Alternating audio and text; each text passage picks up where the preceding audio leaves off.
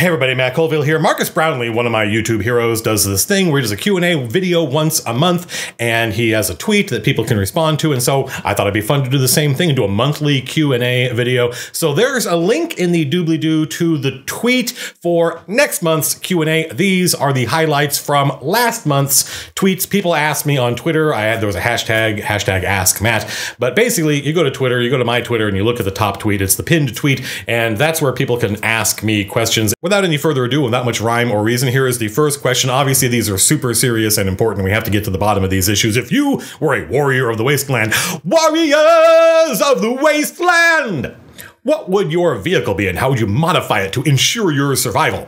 That's a good question. I think about this all the time. Actually, no, I don't. I'd never thought about this before, but my first, my first, without even really thinking hard about it, I thought a Lancia Stratos. That would be awesome because they were a lot of fun to drive in Project Gotham Racing. I know very little about them otherwise. Or maybe a Dome Zero P2, which uh, is just a crazy. I see crop up all the time on retrofuturism uh, subreddits and is just looks crazy. And obviously, this thing needs a missile launcher or a flamethrower. That's probably in some like a turbo boost. Probably that's what I would go for. Yeah, I want to look like the what's the car that one Tom Petty video. I'm not a huge, you know, mad Mad Max enthusiast, I thought Fury Road was amazing, hugely underrated actually, because it turned out that a lot of friends of mine who were nerds and fans of Mad Max didn't even know there had been a sequel, didn't even know a new movie had come out, which kind of blows my mind. Maybe it's because they're old, I don't know.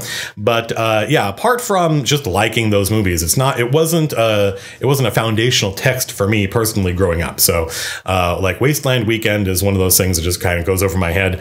But uh, yeah, definitely, I'm a huge fan of that post-apocalyptic. Uh, for me, post-apocalyptic stuff is more like uh, Gamma World and Thundarr the Barbarian. I keep threatening to run Gamma World. Pretty sure we're going to do it uh, on a stream at some point. How would you go about playing an NPC? It turns out there is at least one D&D question in here. How would you go about playing an NPC that you know, meaning me, the Dungeon Master, knows is going to betray the party? And what clues would I give? Um, I'm not sure I would give any clues. I would do my best to think about what does this NPC know? How, how are they going to fool the party? And then I would do my best to do that. I wouldn't necessarily feel the need to telegraph to the players that this is an NPC they need to be suspicious of.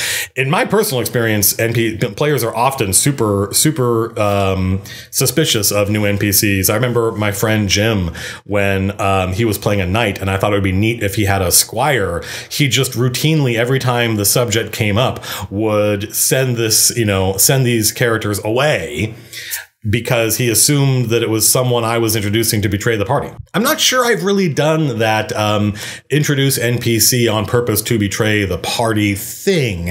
Uh, it's not. I'm not. It's it's not a trope that I feel one way or the other about. I'm sure I could do it. Um, it's just not. Uh, tends not to be the kind of thing I do in my D and D games. Strangely, I do do stuff with like doppelgangers and characters using illusion stuff like that. I remember my friend Hiram had been playing D and D with us for a while, and he had to leave because he'd moved and so I then later had an NPC using illusion return as Hiram's character and get the PCs to do something for this villain that they otherwise would not have done, recover an important key. And then I had what appeared to be Hiram's character steal the key. And so that was a great moment and memorable. I still remember it. It was years ago. And I remember my friend Craig said, he stole that key we just stole. And uh, I thought that was a lot of fun.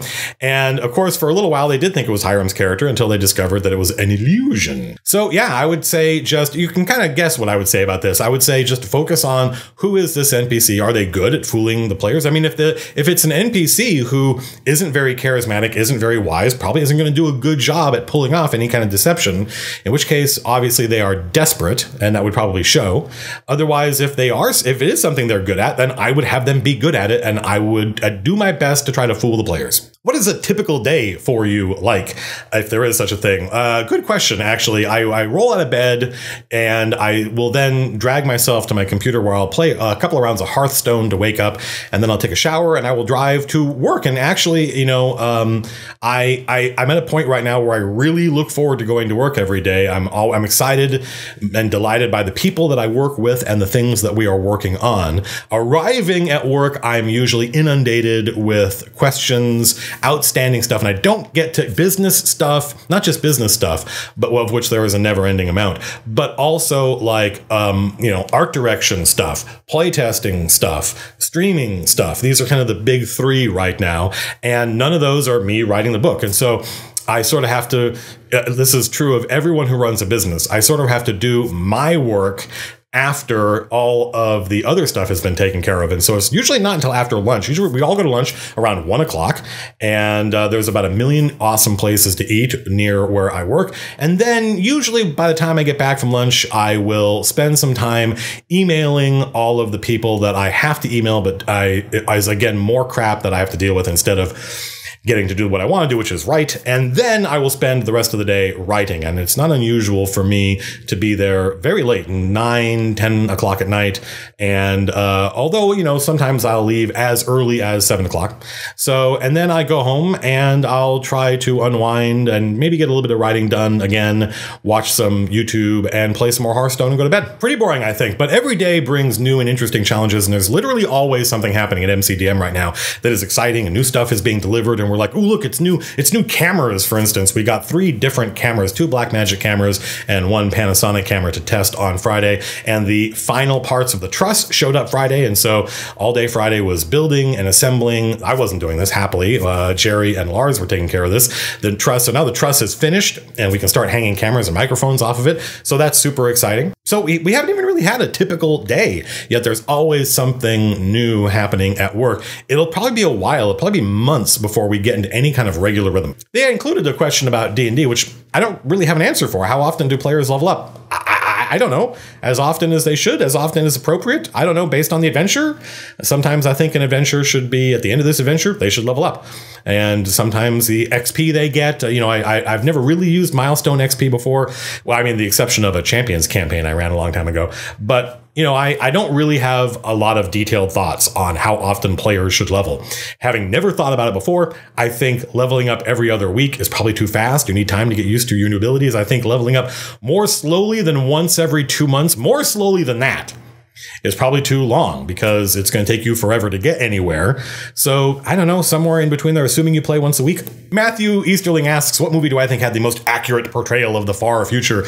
And I don't I'm Mad Max, actually, maybe. I don't know. I think the far future, meaning more than more than a thousand years from now, more than ten thousand years from now, I don't think there's any reason to expect the human race to really hang on that long. I think most you can actually go look up how long do species tend to last and then you can sort of try to do a Fermi approximation regarding how long are we going to be around and how far into that are we and how much longer do we have. And, uh, you know, I don't think things are going to be much different than they are now, actually, between now and some kind of um, post civilized future. I think I agree with folks that think that this is the last civilization. There's not going to be another one after this because all the things you need for civilization, uh, we have dug out of the ground and made impossible for any lower tech civilization than us to get because if it were easy to get out of the ground we would have already done it.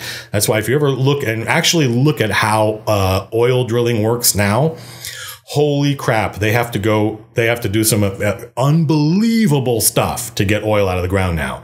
So you know i think i remember in the in the 70s growing up watching stuff like the jetsons and then just looking out the window and realizing as I was like nine or 10 years old and realizing that I lived way after the Jetsons aired. And it was not the, but the reality I was looking at out the window wasn't noticeably different than the reality of the folks who made the Jetsons. Nothing had really changed. Still driving cars, still flying in airplanes, not going to other planets, no faster than light travel.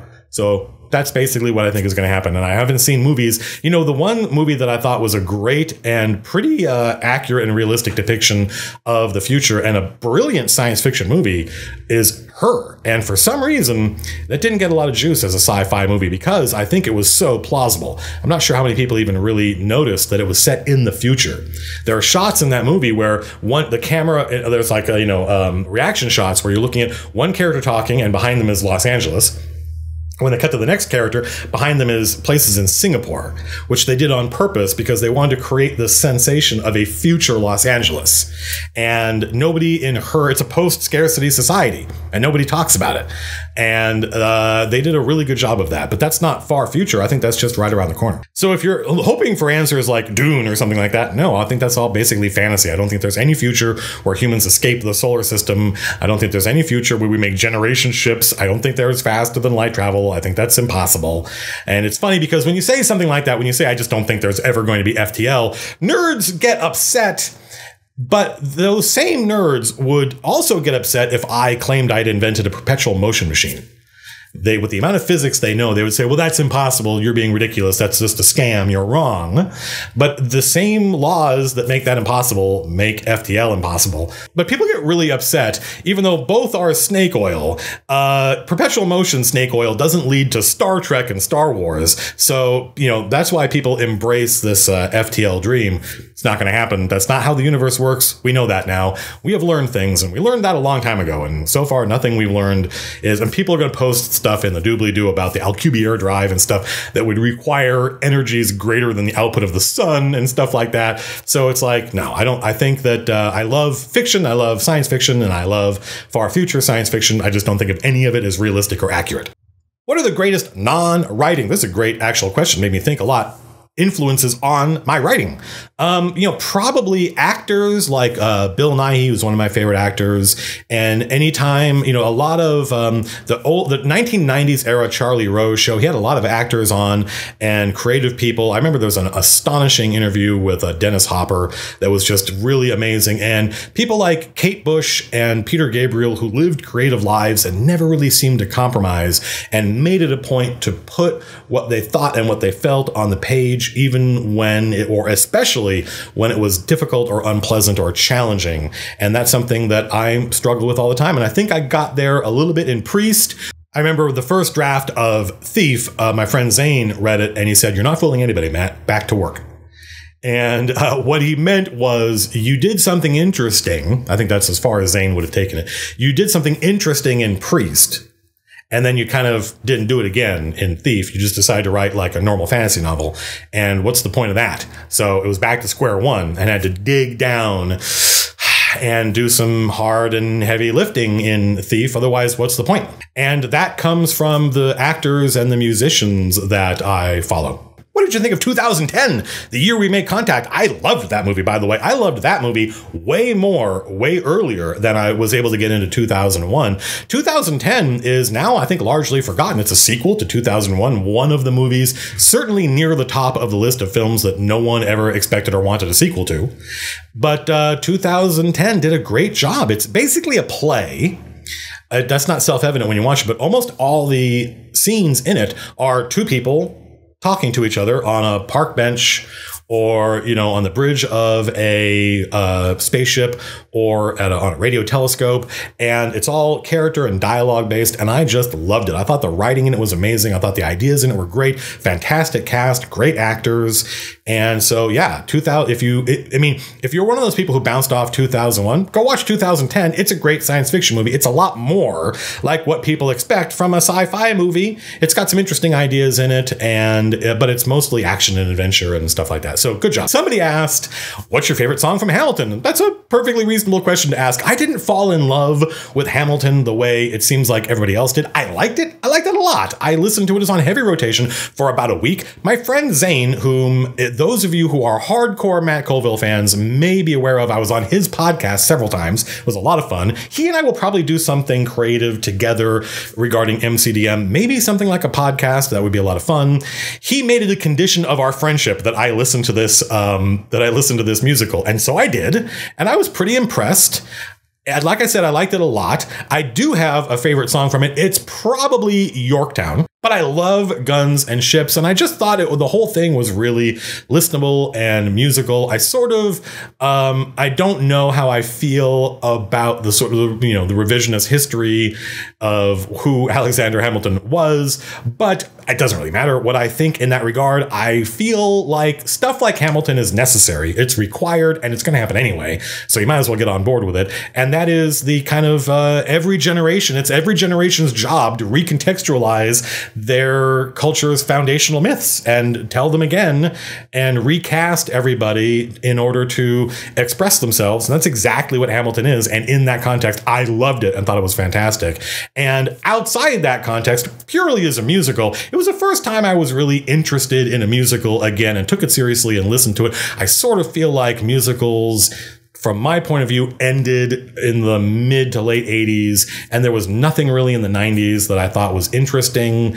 Um, you know, for a lot of for a lot of reasons we don't need to get into. And then Hamilton sort of made it seem like anything was possible again. What do you think about Gen Con? And are you going this year?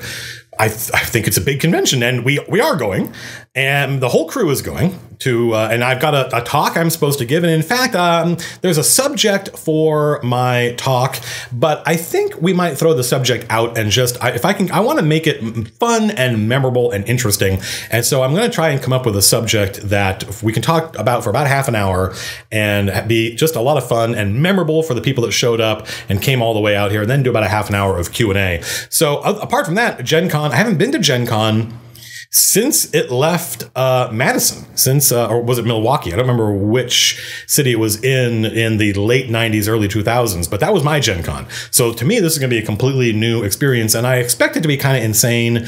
And I don't imagine Gen Con is going to be our base of operations convention wise. I think PAX Unplugged, maybe but I think, you know, uh, what we'd like to do is once we have a game that people can play, which Strongholds and Followers and Kingdoms and Warfare is not. These are expansions to some other game. Once we have our own game that we can promote and people can play, our, our plan is to use the local conventions in Los Angeles, the Strategicon conventions, which happen on three three-day weekends a year as our base because AEG, I think that is a huge part of their success in the 90s and early 2000s was the fact that they were a big fish in this small pond and it allowed them to have a real presence there as opposed to conventions that are far away or huge which is tougher for us to get to regularly. We sort of haven't figured out the whole convention thing yet. It's easy for us now because of the success of the YouTube channel and the success of the Kickstarter, it's easy for us now to go to whatever conventions we want to. And so we have to really think about why do we go to conventions and what is the point of them and how do we justify spending the money? Because it costs a lot of money to go to a convention and we don't generate any revenue off of it. But we do meet a lot of people we wouldn't meet otherwise, make a lot of important connections and get to meet fans, which I think does have real value. I, we were at PAX East and our event was this in the in corner of a room that wasn't on the PAX schedule. It was part of Kickstarter. You couldn't find it in the PAX book. You had to literally walk by. And something I, I think somewhere around 120 people came. There were room for 12. There were 12 seats and it was packed every time. And whatever my experiences were working the booth at Gen Con, when nobody knew who I was and we were we were pimping a product, those have nothing to do with my experience of meeting people at a convention. Uniformly, everyone we met was awesome and fun to talk to and asked great questions, and it was just a blast. And I remember looking over at Anna talking to somebody and thinking, oh God, I have to rescue her. She's been cornered by a nerd. Uh, and it turned out I, I, was worried about nothing. I was, I'm somebody from another age where the, I, I, do worry about that stuff, but she was having a perfectly good time talking to somebody and getting really into just nerding out about D&D with a fellow nerd and and it was really astonishing to for Lars and Anna to meet people who knew their characters from my games and the things they did and had watched them. And so yeah, there's definitely value. It just doesn't make any money. So that's one of those things where you have to think hard. It, like I said, it would be very easy to go to lots of conventions, but that is a, a we're not getting any work done when that happens, and b it's expensive. So we got to make sure we're picking the right ones.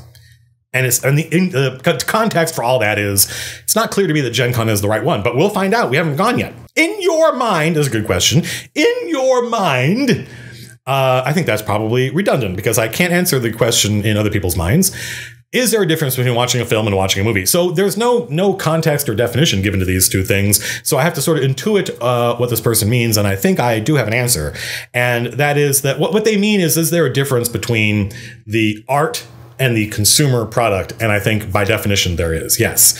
I think that I, I am a fan of both. I enjoy, I just watched Ant Man and the Wasp, and it is purely a consumer product. There is nothing challenging in it. There's very little art in it, although there is a lot of artistry. And by art, I mean something that challenges you and makes you really think about what it means to be a human being or reveals something to you about what it means to be alive and be a human being in this world. But I had a lot of fun. It was a blast. I think that's what it set out to do. It was, I think, better than the first one. And uh, so, yeah, I think there's definitely uh, uh, people, most people, film is a consumer product. It's something they buy and they unwrap and they consume and they expect it to taste a certain way, have a certain number of calories in it, and be satisfying. And that's fine. I like that too. It's a big part of my life. You know, movies like Jaws, Close Encounters, Raiders of the Lost Ark, Star Wars, Star Trek are my favorite movies of all time. But at the same time, I like movies like Last Year and you know, Rules of the Game, you know, some of the classic um, new wave films and I like being challenged. I like that experience of sitting in a theater. I was just there was a thread about uh, what the meaning of the ending of 2001 in my subreddit, and somebody said I just found the pacing of it. I, I bounced off it. I, am not saying it's a bad movie, but I found it you know glacially paced. And it's like yeah, but that's not a problem if you're not consuming a Twinkie. If you're just sitting back and getting into this meditative state and letting the movie just happen and going along with it. And if you can do that, then you don't notice how long it took or how long a scene is because you don't feel the experience of time passing. That is the experience of looking at art and experiencing art. And so, yeah, I think there is a difference. How do you be a good player? Look at this another D&D question. How do you be a good player? Not just a DM. Well, that's a good question. And I, I, I think I have an answer. And it is simple. It is a simple answer. And I think all players can do it. So if you're watching this and you're genuinely interested, I, it's beginning to seem like I'm building this up to be a joke. It's not. I'm serious. If you're genuinely interested in how do I be a good player, how do I show respect to, for instance, the dungeon master and the work that they've done, and really the other players, there is a very simple answer, and that is take notes have a section of your character sheet or a notebook where you're going to write down all the people you meet and make a note of who they are and what they were about, and all the organizations you hear about, including countries and guilds and stuff like that. That's part one. Part one is take notes. Part two is use those notes as resources when you are trying to achieve things and solve problems. Because your dungeon master will be delighted when you, at an impasse, struggling to figure out how to solve something, start going through your notes and say, hey, why don't we ask this woman that we met back in episode whatever? Or hey, I wonder if these folks in this guild or this organization can help us. Because that is the beginning of you taking the Dungeon Master's world seriously and engaging with it. And I think that's all really Dungeon Masters want. What do you do when you come up with an NPC that you're super excited by and the PCs never meet them or kind of blow them off? Um, it won't surprise you to learn that I approach that problem from a different point of view. I am not a frustrated writer who is putting their narratives that they want and their characters they're excited about into their game. I am actually a writer. I write novels. And anytime I get really excited about a character or a scene and I, I got to write it down, that's going to go in my books.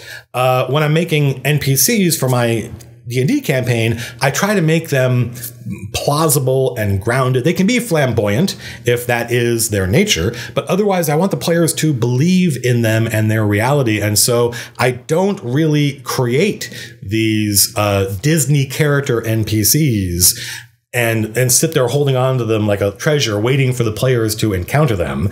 Because i worry primarily about who is this character and what do they want and and you know uh you know what's their motivation? Um that is the thing that makes it so that if the characters don't meet them that's fine because this is a real person to me. This is a real person in the world going about their lives and they're going to continue going about their lives even if the players never meet them. What is your favorite food when watching movies? It's got to be popcorn and coke. Popcorn and coke is the sacrament for me. It's necessary even even though were I to drink soda on a regular basis, which I don't anymore, it would be Mountain Dew because I am unironically that kind of nerd. The movie theater across the street from my house, when it first opened, they had Pepsi products instead of Coke products. And you would think that would delight me, but it did not. It was a tragedy. Mountain Dew is no more acceptable to me as a drink in the movies than Squid Ink would be. And it's got to be popcorn and coke. Not popcorn and diet coke it's got to be popcorn and coke. So that's that's the theater is my church and popcorn and coke is the uh, is what is what allows the transubstantiation to happen. I bet that person didn't think they'd get their question answered because it seems so trivial but it's not. It's important to me. What's a movie you think is fun but everybody else thinks is crap, or vice versa. It would be easy for me to answer this question with movies nobody's ever heard of. I do have what turns out to be controversial opinions about movies. If you don't have controversial opinions about movies, what are you doing? Because the point is to have your own reaction to films, not everybody else's. I go see movies. I tend to do it, I try to do it without knowing what the consensus is. Once consensus forms around a film and I know what that consensus is, I tend to get less excited about going to see it because I know that my experience is going to be colored by that consensus. So, for instance, I saw Saving Private Ryan and I thought it was 10 minutes of an extraordinary war movie and then two hours of a completely forgettable bog standard World War II movie that could have been made in the 70s. Meanwhile, I saw Shakespeare in Love and went crazy for it, loved it, thought it was fantastic, thought it deserved to be uh, the the award winner of that year, and it was although probably for bad reasons. Uh, so yeah, I there are a lot of movies I loved. Pacific Rim, which I think is coming back around. I think consensus on that is changing. That happens a lot. That's not unusual. Don't be surprised to discover that what everybody thought about a movie when it came out has nothing to do with the consensus that forms around it historically. For instance, John Carpenter's The Thing is now viewed as one of the best movies that came out in that era and in that period. But when it came out, it was panned and it tanked and critics hated it. They hated it. Uh, go read some of the contemporaneous reviews of it. So when I saw Pacific Rim, I unironically loved it. I loved everything about it. And everyone else I knew and all the consensus online seemed to be that it was a nonsensical piece of junk. And that didn't, the fact that people think that doesn't bother me. I loved it. I loved Prometheus and thought Prometheus was a fan, astonishingly good movie because it wasn't an alien movie. And Ridley Scott had some really interesting questions to ask. And I felt like there was a lot going on in that movie that people didn't notice and there were problems with it. I, but I didn't have the same problems with it everybody else had. I really liked John Carter. Uh, I thought it was a blast, and I thought it should have done better at the box office, and it deserved to do better. Uh, I'm trying to think of movies that are really popular that I just don't care about. There's a lot of those. Favorite work? This is a great question. Favorite work by Rod Serling or alternatively Orson Welles? Well, I, am actually I like uh, Orson Welles. I don't have a I don't have a great answer for this because I think that Citizen Kane is a legitimately brilliant film and I still enjoy watching it. Um, although it's not you know it's not something I go back to over and over again. But favorite Rod Serling. Rod Serling is one of the best writers of the 20th century, especially for television. And he was if if television hadn't come around, he would have been a giant in speculative fiction science fiction, short story science fiction in the 50s and 60s. And he was, I think he wrote the screenplay for Planet of the Apes a movie that actually I still don't think even even today where it's been raised in estimation thanks to the the uh, prequels which I saw the first one of and I thought it was pretty good. I haven't seen the others but apparently they're really good. So I should go watch those Planet of the Apes movies. But that first 1968 Planet of the Apes I still think is a brilliant movie, underrated and people should go back and watch it. There are not a lot of characters in fiction like Charlton Heston's character, and you don't see a monkey for like 45 minutes, which is great. I always love that. I love movies like like Superman. People gave my Riddler video video um, they criticized it because they thought you can't have a Batman movie where Batman doesn't show up for the first 45 minutes, but that's uh, patently false because you don't see Superman for the first for like an hour into that in that first Superman movie, which is one of the greatest superhero movies ever made. Ditto Planet of the Apes, it's got apes in the title and you don't see any apes until for, for quite a while because it's just a really good science fiction movie for the first like 45 minutes. But that's not my answer. My answer is Requiem for a Heavyweight Playhouse 90. Uh, uh you you, you can watch it on YouTube, and it's just amazing. It stars a very young Jack Palance. They made a movie of it. This is the TV version, the Playhouse 90, 90 for 90 minutes. There was a time in the 1950s where television was a new technology, a new consumer technology. It was in everybody's homes, but they didn't yet know what kind of what kind of medium it was going to be. It was sold as being something where you could have like sports and great art all happening in your living room. And you wouldn't you didn't have to go to New York and go to Broadway to see a great play. You could just sit in your home and great art would come to you along with a lot of pop culture stuff. And so you got stuff like Playhouse 90 which was an amazing series. And there's an episode of it written by Rod Serling Requiem for a Heavyweight. Not science fiction just straightforward drama. And Jack Palance's performance in it is I think on par with Marlon Brando's from On the Waterfront. It is just amazing. If you wrote a D&D movie, would it take place in the world you've created? Um, you know, I I don't I think the idea of a D&D movie is a very strange thing and not something that we should want. I think that you could do a Dragonlance movie, for instance. That would be great, but it should be a Dragonlance movie, and it should it should be the story of what happens in those books because it's some great pulp adventure. It's got a lot of D and D tropes in it, but so do a lot of things that aren't D and D. I remember the Thirteenth Warrior reminded me a lot of my friend Brad's D and D campaign, and it was a movie I would often tell people to go watch if they wanted to know what Dungeons and Dragons was like. Um, so I, yeah, I don't. I think the idea of a D and D movie is just nonsensical. It doesn't make any sense to me. It isn't something I want or look forward to. But something like a Dragonlance movie would really excite me, and if it were done well, I would uh, I would go see it. What did you want to be? Classic question, right? What did you want to be when you grew up? Uh, I think I've told the story. I wanted to be a writer. I told my mom that when I was seven, and she got so angry with me, she grounded me for the summer but she forgot about it a day or two days later, and so I was I was liberated from my my bondage. Uh, and the reason she got mad at me, by the way, was because she was 100% certain that I could do that if I wanted to, and she thought it would be a colossal waste of my time and my life, which is basically what happened. That's basically what she thought. She thought she's you know she thought I could have been anything I wanted to be, and she that she meant that literally. And so the idea of being somebody who works in games was, from her point of view, I think largely throwing my life away. But I think she would have liked this because she thought I could have been an actor. Ha!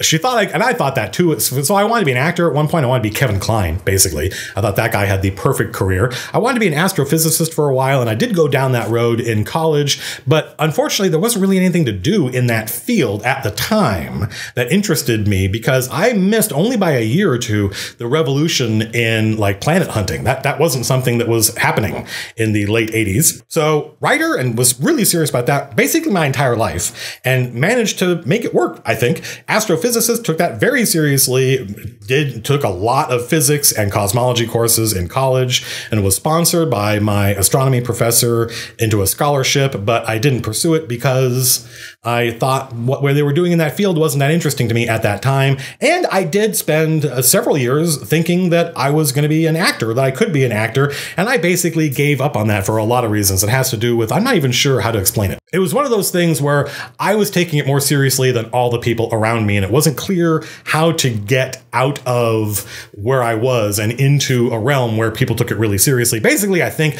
I needed a time machine and I needed to go back to like New York in the 1970s. Oh, look, a D&D question. I didn't know how many of those there were going to be. I just grabbed the questions that I thought were fun.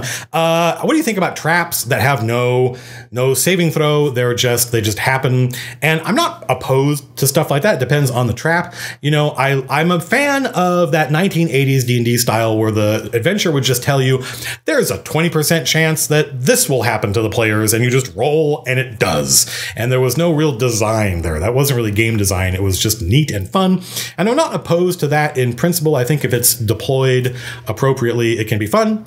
Uh, but I definitely think that the nastier something is, the more likely the players, the more likely it should be that the players at least have a chance of knowing about it and reacting to it. Do you feel pressure slash are you nervous about using the Kickstarter money in a responsible way?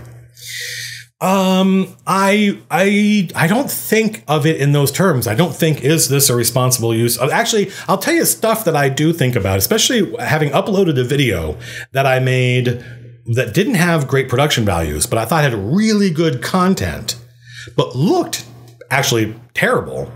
And it got huge downvotes, and people were complaining about it. That emphasized something that I'm aware of, which is that people know that we raised a lot of money. So I don't think I think this isn't true for everybody, obviously, but I think there is an expectation out there that we are going to use that money to make something that looks cool and that just you know putting up cheap IKEA shelves in the background is not going to do it. That it needs to look cool. It needs, we need to have a set that looks cool. So that is that responsible? Eh, I don't know. Uh, it's it's certainly being responsible to a certain attitude, and that is you got a lot of money, Matt. We want to see where it went. We want to see where that money went. We don't want it to, everything to be cheap. And that era of DIY, it can still be DIY, and it is because we're all doing it ourselves but it has to the result has to look good. So that's something i think about. And mostly i spend my time worrying about how is mcdm going to generate revenue? Because we raised a lot of money but it actually doesn't matter how much money we raised running the company costs money. And so we're going to go we're going to sooner or later we're going to burn through they literally call it the burn rate. We're going to burn through that savings and the company has to generate revenue and it has to pay for itself. And i think about that all the time. I'm, I'm pretty confident we're going to do it but being confident isn't that that doesn't actually have anything to do with success or failure lots of confident people fail all the time. So uh, that's what I think about is are we going to be able to sustain ourselves? And is this, it, it, it, uh, you know, if we do everything as cheaply as possible, I think because we're afraid of spending money, then I think people are going to notice. How often do you get recognized in public? Actually, all the time. It happens uh, pretty frequently, and it's uh, fun and weird. There was a guy when we were seeing, I think it was Infinity War, there was a fan in the audience with us, and I felt bad because I was there with my friends and I was there to watch Infinity War, and he just kind of turned around and said, Hey, I'm a big fan of your work. And I said, Oh, thanks. And I think I basically blew the guy off, and he came out and saw, ran into us after the movie. And again, I was just like, Oh, hey. And it was kind of awkward. And I was like, after very shortly thereafter, I'm like, I let that dude down. I should have asked him what he thought of the movie. It would have been really easy to do. And that's the experience that I want fans who meet me to have is they're going to get a little engagement and a little of what they expect. Uh, and there was no downside to it. I wasn't like, you know, I was, it's not like I couldn't have just asked that person a couple questions. So I'm still learning the ropes about being famous um, being nerd famous. My friend Jim went to a convention in San Diego, and people asked him to sign their their Dungeon Masters guides, and he was like, "I'm wait, hang on a minute, I'm I'm not any different than you." And I was like, "Jim, the thing is, I know you feel that way, and it's it is true. It is literally true. You're not different than those people. However, that's not what they want to hear." right? They want to hear somebody they look up to being the person that they look up to and being the person that they know from YouTube. So, for a little while at least, be that person for them. Love how much of a fan you are of other YouTubers. Which YouTubers do you watch these days? Uh, let's see. Who am I engaging with that's new that you don't know about? I'm not sure I've found any new YouTubers recently. Oh, I listened to uh, Josh Turner Music. He's pretty awesome. I got turned on to him because YouTube decided I needed to watch a video about him trying to reverse engineer Nick Drake's guitar tone. And I loved that whole video. And then I got into him as a kind of a cover artist and then his original music music. So I really like Josh Turner, and I'll put a link in the doobly doo to one of his videos. And it's a great song, but the first comment I read in the YouTube was like, this is a fine song, but if you listen to it at 1.25 speed, it becomes a great song. And I did that. And as much as I respect the artist, you know, being somebody who lives a creative life, wow, uh, I think that person was right. And the song at 1.25 speed was amazing. I still watch Comic Book Girl 19, even though she just did a video about how she's effectively leaving YouTube. She may be back depending on how the YouTube membership, I think is what they're calling it, system works out. Basically, YouTube trying to bite some of the Patreon and Twitch functionality, which I hope works. I mean, this is a tricky situation for our YouTubers. It's a tricky situation for us. We're going to have a meeting about it actually next week where we talk about who we partner with as far as providing content, you know, between YouTube, Patreon, Twitch, stuff like that, because we are looking at a future, whether we like it or not, however we feel about it doesn't really matter. We're looking at a feature where if you're on YouTube, YouTube is going to punish you in one way or another for also providing content on these other platforms. And they're going to want people because they don't want people to leave YouTube. And we're not there right now. If you if I go live on Twitch, people watching my YouTube videos get a live alert in the video. And as far as I know, that is YouTube functionality. But I definitely the the the writing is on the wall, as they say, and we're definitely looking at a future where if you uh, rely on multiple streaming slash video services for your revenue, you're going to be in trouble because they hate each other and they don't like people that use both. They want people to use one or the other. And if that's true, maybe we should get on that bandwagon as soon as possible and, you know, not, not, you know, not set ourselves up for a not just kick the can down the road and do what everybody else is doing and and end up having to solve that problem later. Maybe we should just solve that problem now. I don't know. We're going to talk about it. So Comic Book Girl 19 is now on Twitch and I support her wherever she goes and whatever she does. I think she's brilliant and whatever she's talking about, I am interested in because she's talking about it. How did you feel about the solo movie? I guess this was an inevitable question, but I still think it's a great question and I have a lot of answers, but mainly I felt like what I was watching was a schedule and a budget and not a movie. And there was a point where you find out how Han Solo got his name and if I wasn't with a bunch of friends, I would have just got up and left at that point. Because that's definitely something you put in your movie. Because you feel very differently about the purpose of storytelling than I do. What's the game you're having the most fun with in the studio right now? Well, we played Rising Sun just a couple of weeks ago and had a lot of fun with it, and I immediately went out and bought it, and we're going to play it again. Uh, it it looks like an American game, but it really is a Euro game, and I'm not a huge fan of the resource management games where at the end you just count cubes, and whoever has, you know, it's like, oh, you had the fewest blue cubes, so you're out, and you had the fewest red cubes, so you're out, and then whoever wins is the person who hadn't been eliminated by any other cube economy method.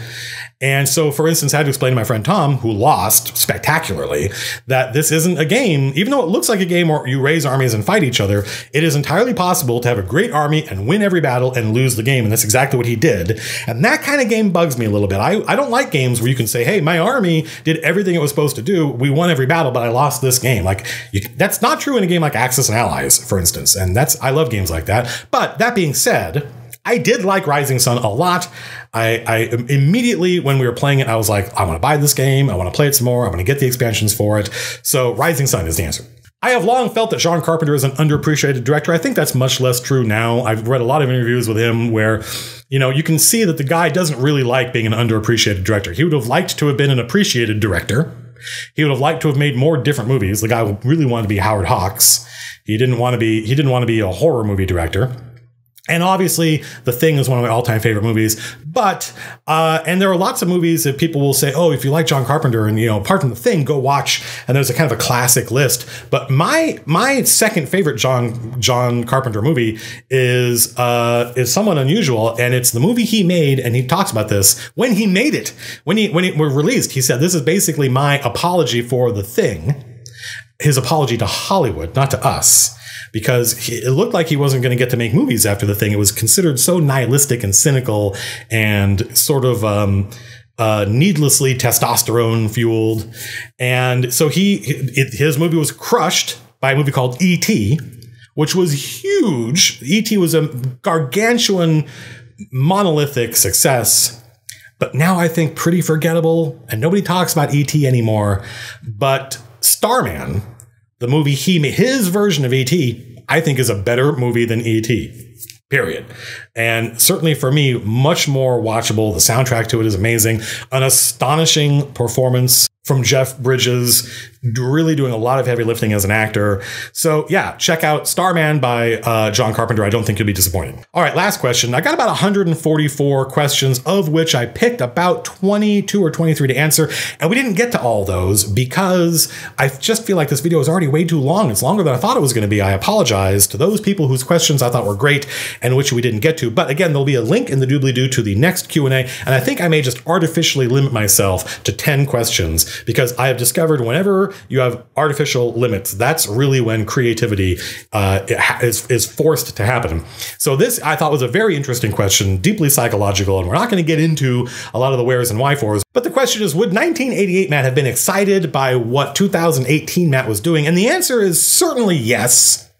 Certainly, if I could have gone back, if I could go back in time and tell 1988 Matt, hey, this thing that you love D&D, you're going to get to make a living at that and you're going to get to be a game designer, which is something at that age I was starting to think might be possible. And I was doing a lot of my own home brewing and designing my own games and inflicting them on other people. Um, I would have loved that. If I could have told people you're going to get to be a writer and a lot of people are going to like your writing, uh, that would have just, I would have been over the moon. I would have been delighted. However, I will say that the real answer to that question, would 1988 Matt be proud or happy or excited by what 2018 Matt is doing, is this. 1988 Matt was afraid of a lot of things that he didn't need to be afraid of, it turned out. And I wish I could go back in time and tell 18 year old Matt about who he is and what he can do. But at the same time, there were a lot of things that 1988 Matt wanted to do, a lot of goals and dreams and hopes, none of which came true, all of which failed. And that's tough. It's tough to deal with. But they sort of balance out.